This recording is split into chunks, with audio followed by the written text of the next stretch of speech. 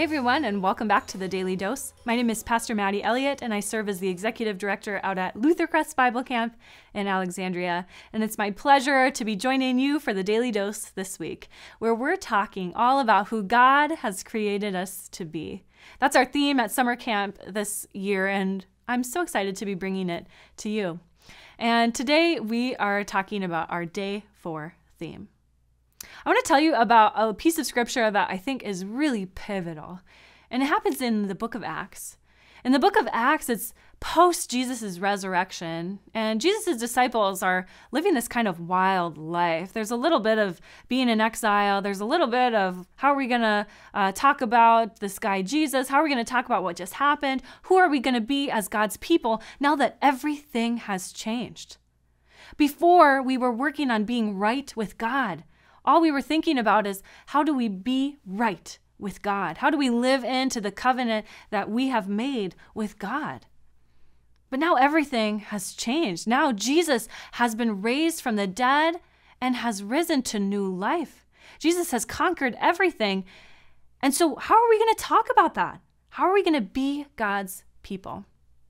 Well, as you can imagine, this church life was no different than our church life. And just like in our churches, everyone has lots of opinions on how things ought to be.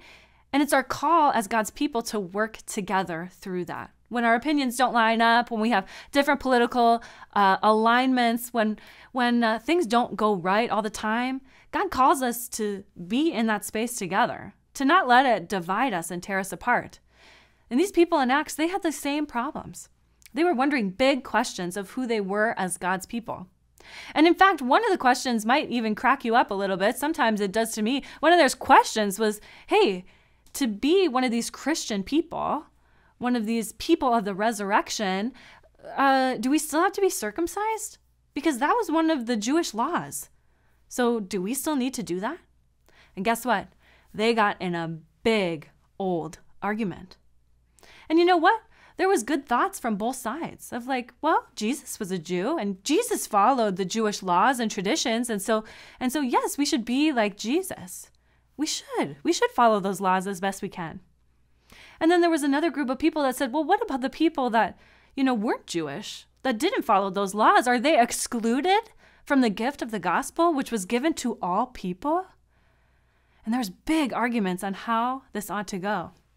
But eventually, if you read in the book of Acts, they come to this great conclusion and they say, nothing should get in the way of us telling the story of Jesus Christ. Not circumcision, not any law. Nothing should stand in the way of us telling about the story of Jesus' resurrection. Today in the church, I think oftentimes we get bogged down with how things ought to be, how things should be. What checklists can we make sure that we're doing so that we do church right? Well, guess what, folks? There's not really like an A plus when it comes to church work.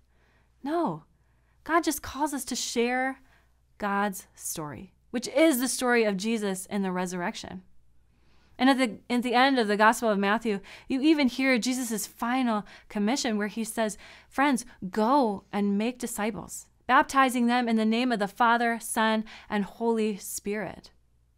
God calls us to bring people together in baptism, not be apart. And so, in those moments in church work or just in life in general, I think a great question to wonder about is how is God calling us to be together, to dwell in these spaces, even the difficult ones, as church together? Because we are called to be disciples, to be one body in Jesus Christ. So, friends, I'll leave you with some scripture that we're leaving our campers with each week, and that is that you are fearfully and wonderfully made, fearfully and wonderfully made to be a disciple. Thanks for joining.